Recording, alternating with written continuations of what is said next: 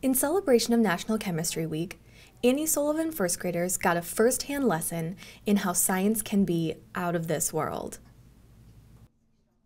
So our theme for National Chemistry Week this year is Chemistry is Out of This World, which is all about space science. So we did some Alka-Seltzer rockets, so they got to draw a picture and then we put it on their rockets and then they launched them. Washington High School AP Chemistry students honored National Chemistry Week all week long with unique demonstrations performed in the WHS Commons during the lunch period, a school wide chemistry pledge, and treats at the WHS versus O'Gorman volleyball game. But they ended the week with a pop. Literally.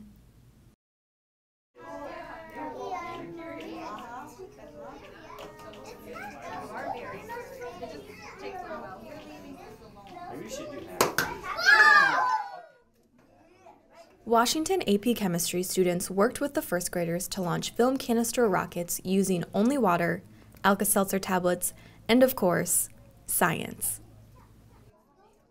So I think it's really important just in general for science communication at all ages um, and having my students come over who are already excited about chemistry kind of just helps get the younger students excited about chemistry in Washington and seeing what opportunities they'll have as they get older.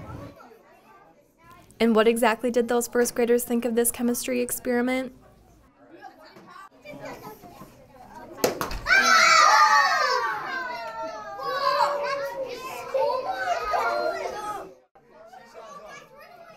Oh, they were very excited. Lots of screams and shouts and high fives and things like that.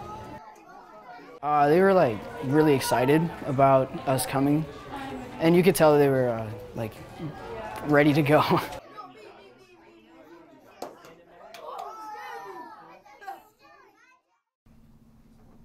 And the first graders weren't the only ones excited about science.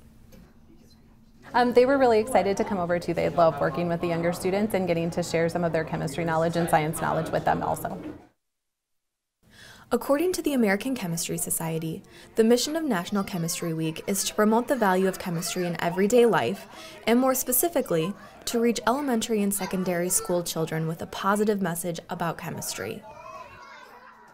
Because um, it's how we're here, it's how we live, it's around us all the time, and so chemistry, especially with all the reactions and just that relationship to daily life, is just really cool, I think. And so hopefully, I'm passing that on to my students, and they're passing it on to the younger students as well. Overall, it was both an exciting and educational day for both Washington students and the first graders at Annie Sullivan. It was an illustration that science isn't just a subject in school, but how we live.